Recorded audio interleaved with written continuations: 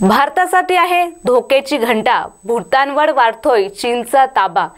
काय आहे हे नक्की समीकरण? पाहूया स्पेशल रिपोर्ट भारत आणि चीनमधील दोन हजार सतरामध्ये डोकलाम वादळाच्या वेळी पश्चिम भूतानजवळील सिलिगुडी कॉरिडॉर हे एक महत्त्वाचे धोरणात्मक स्थान म्हणून उदयास आले होते. चीनने अनेक दशकांपासून यावर लक्ष ठेवले होते. त्याच वेळी गेल्या पाच वर्षापासून चीन भूतानच्या उत्तरेकडील भागावरही लक्ष ठेवून आहे. भूतानच्या उत्तरेकडील भागांजवळ चीन वेगवान पद्धतीने पायाभूत सुविधा विकसित करत आहे जे भारतासाठी चिंतेचे प्रमुख कारण ठरणार आहे असे सॅटेलाइट प्रतिमाने देखील उघड केले आहे.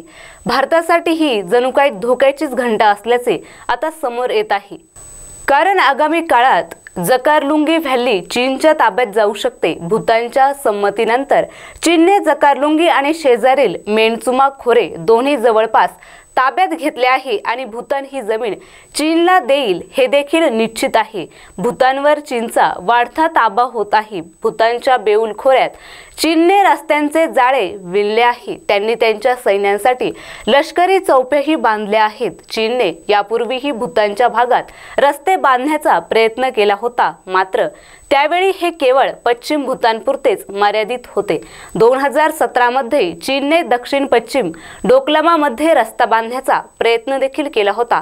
त्याला भारताने विरोध दर्शवला होता. त्यावेळी पीएलएची भारतीय जवानांशी चकमक देखील झाली होती. त्यातच आता चीनचा भूतानवर वाढणारा ताबा पाहता भारतासाठी ही जणू काही धोक्याचीच घंटा आहे हे मात्र आता निश्चित झाले आहे.